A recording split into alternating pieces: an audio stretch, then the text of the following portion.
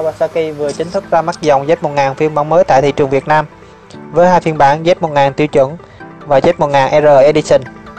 Phiên bản tiêu chuẩn có hai màu cam đen và xanh đen. Phiên bản đặc biệt có màu đen, có trang trí bằng sợi carbon. Phiên bản tiêu chuẩn được báo giá là 399 triệu đồng, trong khi đó phiên bản đặc biệt được báo giá 439 triệu.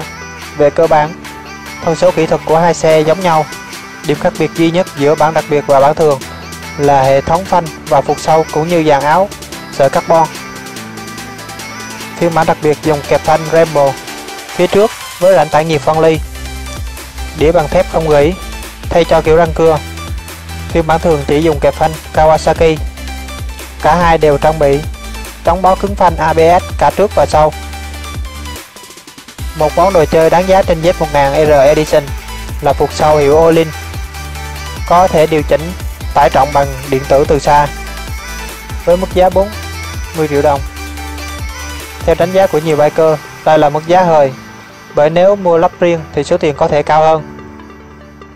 Về kích thước, Z1000 2017 không thay đổi so với thế hệ trước. Chiều dài là 2045mm, rộng 790mm và cao 1055mm. Độ cao yên là 815mm trọng tải của xe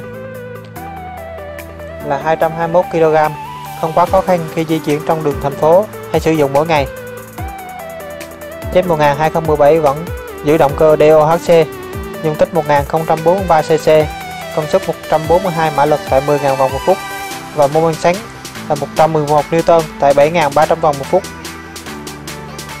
Các kỹ sư của hãng đã cân chỉnh ECU giúp xe đặt chuẩn về khí thải Euro 4 cũng như để động cơ vận hành mượt mà trơn tru hơn. Công năng LED vẫn giữ phong cách Sugomi dữ dằn của Kawasaki. Phiên bản đặc biệt được sơn khói cụm đèn chính trong ngầu hơn. Đèn đuôi phía sau không thay đổi, vẫn giữ đèn LED và xi nhan rời khá nhỏ gọn. Hai giải đề can chạy dọc phía đầu tạo điểm nhấn Hệ thống ống xả bằng thép không gỉ tương tự như bản cũ. Gấp đôi đa liên kết được bố trí phía sau, giúp xe tăng độ ổn định khi vào cua. Hành trình phục sau trên bản đặc biệt là 131mm, nhưng có thể điều chỉnh. Bản thường có hành trình là 135mm. Bình xăng dung tích 17 lít. So với thế hệ đầu, Z1000 đã tăng thêm 2 lít để phục vụ cho những biker thích đi đường trường. Theo Kawasaki, Z1000 là dòng xe bán chạy nhất của hãng đây cũng là dòng mô tô phân khối lớn phổ biến nhất tại Việt Nam.